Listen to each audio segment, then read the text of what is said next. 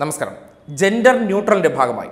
സംസ്ഥാനത്തെ ഒരു സർക്കാർ സ്കൂളിൽ അതായത് Kozhikode Balussery government H S S സ്കൂളിൽ പ്ലസ് ടു വിഭാഗത്തിന് എല്ലാവർക്കും പെൺകുട്ടികൾക്കും ആൺകുട്ടികൾക്കും വസ്ത്രധാരണത്തിൽ ഒരേ കോമ്പിനേഷൻ കൊണ്ടുവരാൻ തീരുമാനിച്ചു. അതായത് പാന്റും ഷർട്ടും. ഇതിപ്പോൾ കുറച്ച് യാഥാസ്ഥിതിക ചിന്താഗതിക്കാരുടെ കുരു വല്ലാതെ പൊട്ടിച്ചിരിക്കുകയാണ്. ഒരുപക്ഷേ ഇന്ന് അത് ഉദ്ഘാടനം ചെയ്യുമ്പോൾ കോഴിക്കോട് ബാലുശ്ശേരിയിലെ ഈ സ്കൂളിലേക്ക് എം എസ് എഫും എസ് എസ് എഫും തുടങ്ങി കുറേ മതസംഘടനകൾ മുസ്ലിം ലീഗും എല്ലാവരും ചേർന്ന് ആ സ്കൂളിന്റെ ഫ്രണ്ടിലേക്ക് സമരവും കോലാഹലമായിട്ട് ഇറങ്ങിയിട്ടുണ്ട്. ഇപ്പോൾ അങ്ങ് പേടിപ്പിച്ച് കളയാം. മതത്തിന്റെ പേര് പറഞ്ഞ് വിരട്ടി ഈ തീരുമാനത്തിൽ നിന്ന് പിൻവലിപ്പിച്ച് കളയാമെന്നൊക്കെ ചിലർ കരുതുന്നുണ്ട്. വിദ്യാഭ്യാസ മന്ത്രി വി ശിവൻകുട്ടി പറഞ്ഞ ഒരു വാചകത്തെ പൂർണമായി പിന്തുണയ്ക്കുകയാണ്. ഇപ്പോഴല്ലെങ്കിൽ പിന്നെ എപ്പോൾ? ഇനി എത്ര ചാടിത്തുള്ളിയാലും ഇതൊക്കെ നടപ്പിലാക്കേണ്ട സമയം തന്നെയാണ്. ചിലരുടെ കാഴ്ചപ്പാടുകൾ പൊളിച്ചെഴുതേണ്ട സമയം ഇതൊക്കെ തന്നെയാണ്. അവർ ചോദിക്കുന്നൊരു ചോദ്യമുണ്ട് വസ്ത്രധാരണ സ്വാതന്ത്ര്യം വേണമെന്ന് സ്കൂളിൽ പഠിക്കുന്ന പ്ലസ് വണ്ണിൽ പഠിക്കുന്ന കുട്ടിക്ക് ഈ കുട്ടികളുടെ മേൽ എല്ലാം അടിച്ചേൽപ്പിച്ചാണ് ഇന്നത്തെ ഈ നാട്ടിൽ വളർത്തുന്നത്. അതായത് ഇപ്പോൾ ധരിച്ചുകൊണ്ടിരിക്കുന്ന വസ്ത്രം അവർ ഇഷ്ടപ്പെട്ടിടുന്നതാണെന്ന് നിങ്ങളോട് ആരാ പറഞ്ഞ്? നിങ്ങൾ നിങ്ങളുടെ സങ്കല്പങ്ങൾ ആ കുട്ടിയുടെ മേൽ അടിച്ചേൽപ്പിക്കുന്നു. ആ കുട്ടിക്ക് കംഫർട്ടായിട്ടുള്ള ഡ്രസ്സ് പാവാടയും ചുരിദാറും ഇതൊക്കെയാണ് കംഫർട്ട് എന്ന് നിങ്ങൾ പറഞ്ഞാൽ. അതിനെ ഈ സമൂഹം അങ്ങ് അംഗീകരിച്ച് തരണമൊന്നുമില്ല പാശ്ചാത്യ രാജ്യങ്ങളിൽ ഉൾപ്പെടെ ആൺ പെൺ ഭേദമില്ലാതെ രണ്ടുപേരും ഈക്വൽ ആണ് എന്ന ബോധ്യത്തിൽ വളർത്താൻ വേണ്ടി പരിഷ്കാരങ്ങൾ പൊതുവിദ്യാഭ്യാസ മേഖലയിൽ വരുമ്പോൾ അതിനെ കാലോചിതമായ മാറ്റമായി കണ്ടുവേണം. അതിനെതിരെ സംസാരിക്കാൻ അല്ലെങ്കിൽ അതിനെ പിന്തുണയ്ക്കാൻ. ഇപ്പോൾ മതത്തിന്റെ പേരിൽ നിൽക്കുന്നവർക്കാണ് കൂടുതൽ വേദന ഉണ്ടായിരിക്കുന്നത്. ഈ വേദനയുടെ കാര്യം ഇവരാണല്ലോ ചിന്തിക്കുന്നത്. ആരെന്ത് ധരിക്കണം ആരെന്ത് കഴിക്കണം ആരെന്ത് ചെയ്യണം ആരെന്ത് ചെയ്യണ്ട ഇതൊക്കെ തീരുമാനിക്കാൻ മതങ്ങളുടെ മുകളിൽ കുറെ തലയ്ക്ക് വെളിവില്ലാത്ത ടീംസ് ഇരിപ്പുണ്ട്. ആ ടീംസാണ് ഇതൊക്കെ പറഞ്ഞുണ്ടാക്കി വിടുന്നത് ആൾക്കാരെ ഇളക്കി വിടുന്നത്. പക്ഷേ ഇത് കണ്ടൊന്നൊന്നും ഭയപ്പെട്ടു പോകുന്ന ഒരു സമൂഹമല്ല ഇന്നത്തെ കാലഘട്ടത്തിലുള്ളത്. ഇതൊക്കെ സർക്കാർ വിദ്യാലയങ്ങളിൽ ഇനി അങ്ങ് നടപ്പിലാക്കാൻ പോവുകയാണ്. എന്താണ് നിങ്ങൾക്ക് ചെയ്യാൻ പറ്റുന്നത്? നിങ്ങൾ ഇവിടെ അങ്ങ് ചെയ്തു കൂട്ടും. എന്തൊക്കെ വിരോധാഭാസങ്ങളാണ് സോഷ്യൽ മീഡിയയിൽ കടന്ന് വിളിച്ചു പറയുന്നത്? നിങ്ങളുടെയൊക്കെ സംസ്കാര ശൂന്യത എത്രത്തോളം ഉണ്ടെന്ന് ആ വാചകങ്ങളിൽ വെളിവാകുകയാണ്.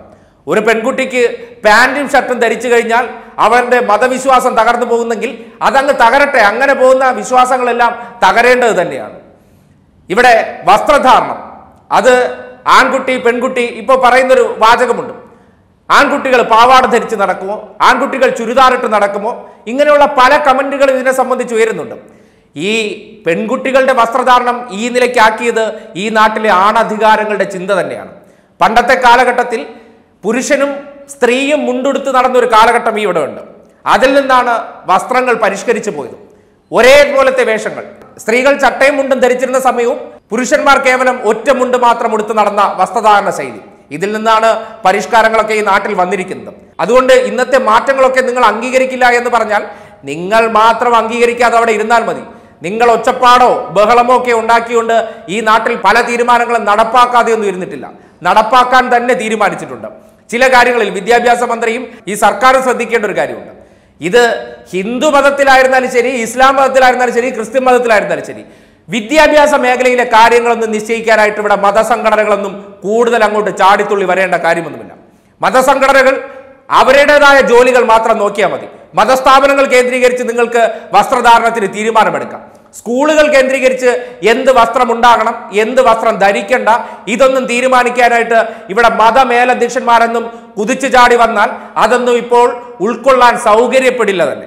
അങ്ങനെ തന്നെ പറയേണ്ടി വരികയാണ്. ഈ നാടിനെ ഒരു കാരണവശാലും ഈ പറയുന്ന യാഥാസ്ഥിതികത്വത്തിൽ നിന്ന് പുറത്തേക്ക് വരാൻ അനുവദിക്കില്ല എന്ന് തീരുമാനിച്ചിറങ്ങിയ കുറേയേറെ കുബുദ്ധികളുണ്ട്. ആ ബുദ്ധികളുടെ സൗകര്യപൂർവം ഈ നാടിന് ഇനി ജീവിക്കാൻ സൗകര്യപ്പെടില്ല. അതിനനുസരിച്ച് നിന്ന് തരാൻ പറ്റത്തില്ല എന്ന് തന്നെയാണ് ഇതിലൂടെയൊക്കെ വെളിവാക്കാൻ പോകുന്നത്. അതുകൊണ്ട് വരും കാലങ്ങളിൽ നിങ്ങളുടെ കുരു ഇനി പൊട്ടാനിരിക്കുന്നതേ ഉള്ളൂ. എന്തെല്ലാം എന്നെല്ലാം നിങ്ങൾ കാണേണ്ടി വരുന്നുണ്ട്. നിങ്ങൾ ഒരു കാലത്ത് ഈ സമൂഹത്തിനെ ഏത് തരത്തിലാണോ അടിച്ചമർത്തിയിരുന്നത്? ആ വേലിക്കെട്ടുകൾ പൊളിക്കാൻ പാടില്ല എന്നും ഇതിനകത്തെ നിൽക്കാൻ പാടുള്ളൂ. കാരണം ഇതിന്റെയൊക്കെ ഗുണഭോക്താക്കൾ നിങ്ങളാണല്ലോ. ഇതിൽ നിന്നൊക്കെ ചാടിപ്പോയി കഴിഞ്ഞാൽ നിങ്ങളുടേതായ കുറേ വരുമാന സ്രോതസ്സുകൾ മുട്ടിപ്പോകുമല്ലോ. പുതിയ കാലഘട്ടത്തിലെ ചെറുപ്പങ്ങളെല്ലാം കാഴ്ചപ്പാടുള്ളവരാണ്. അവരുടെ വസ്ത്രധാരണ ശൈലി ഏത് വിധേന വേണമെന്ന് അവർക്ക് ചിന്തിക്കാൻ അവസരമുണ്ട്. അവർ ധരിക്കട്ടെ സ്കൂളിലെ കുട്ടികളിൽ നിന്ന് ഒരു എതിർപ്പ് സ്വരം ഉയർന്നിട്ടില്ല. ഈ കുറെ മതസംഘടനയിൽപ്പെട്ടവർക്കും കുറച്ച് മതവുമായി ബന്ധപ്പെട്ട് പ്രവർത്തിക്കുന്നവർക്കുമാണ് ഇപ്പോൾ വേദന വന്നിരിക്കുന്നത്. ആ വേദന ഇപ്പോൾ ഈ നാടിന് കാണാൻ സൗകര്യപ്പെടില്ല അതിൽ ഒരു തർക്കവും ഇല്ല.